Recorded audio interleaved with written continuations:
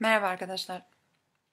Affınıza sığınarak bugün bazı konularda size e, görüşlerimi, endişelerimi dile getirmek istiyorum.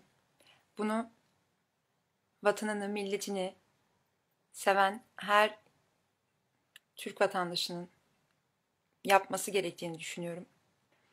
Şimdiye kadar hep aman kimse kırılmasın, aman kimse üzülmesin diyerek özellikle siyasi konularda hep kendi fikirlerimi insanlara söylememeyi, paylaşmamayı, kimseyle tartışmaya girmemeyi tercih ettim.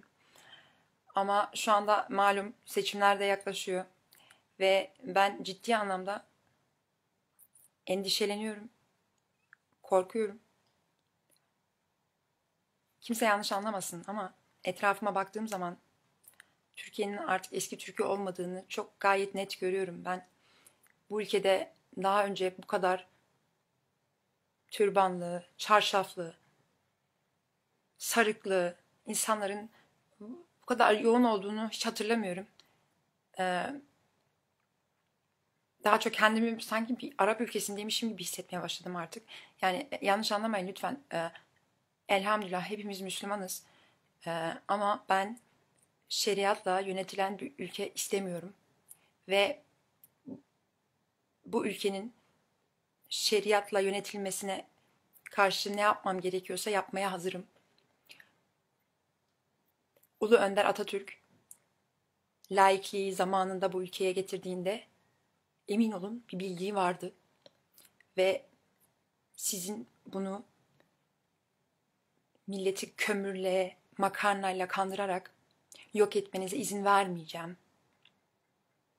Susmayacağım bundan sonra.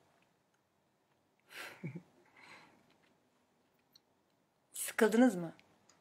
Ben şahsen çok sıkıldım bu konuşmalardan. 13 senedir aynı korkuları yayıyorsunuz. 13 senedir gelemedi bu. Şeriat ne hikmetse. Hem elhamdülillah Müslümanız ama Müslüman olan insan şeriattan niye korksun ki? Dinsiz olsan zaten şeriat kuralları sana uygulanmaz. Ama dinsiz değilim diyemiyorsun. Müslümanım ama dinsiz gibi yaşamak istiyorum diyorsun. Önce onu bir düşün. Artı neden sürekli birilerinin senin bir, şeylerini kısıtlayacağını sanıyorsun? Neden sürekli birileri geldiği zaman benim özgürlükleri 13 senedir senin neyin kısıtlandı? 13 senedir hangi özgürlüğün elinden alındı? Beni gören bu az önce canlandırmaya çalıştığım entel dantel ablalarımız ya sen nasıl olur da AKP'ye oy verirsin? Sen modern, açık saçık, yaşam tarzı hiç onlara uygun olmayan bir insansın. Bunu bana siz soruyorsunuz. Çünkü karşınızdakileri de kendiniz gibi sanıyorsunuz. Yani kendi zihninizdekini başkasına dayatma zorunluluğu var sanıyorsunuz. Ama biz sizin gibi değiliz. Biz sizin özgürlüklerinizi kısıtlama derdinde değiliz. Hiç de olmadık. 13 senedir bu ülkede neler yapıldı, neler yapılmadı.